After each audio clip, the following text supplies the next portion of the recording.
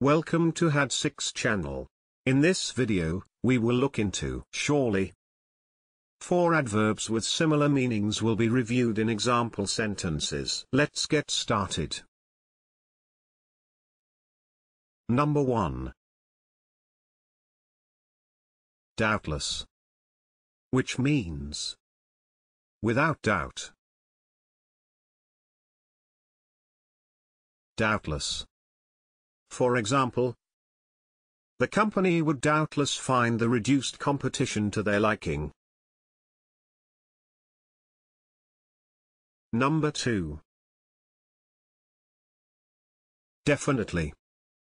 Which means without doubt used for emphasis. Definitely. For example, it was definitely a case of exploiting child labor. Number 3. Inevitably. Which means. As is certain to happen. Inevitably. For example. Inevitably some details are already out of date. Number 4. Certainly.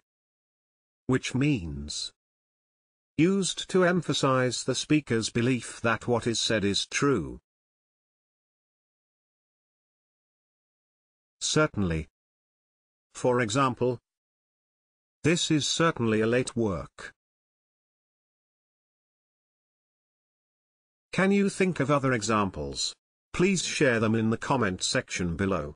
Hitting the subscription button is the best way to stay connected.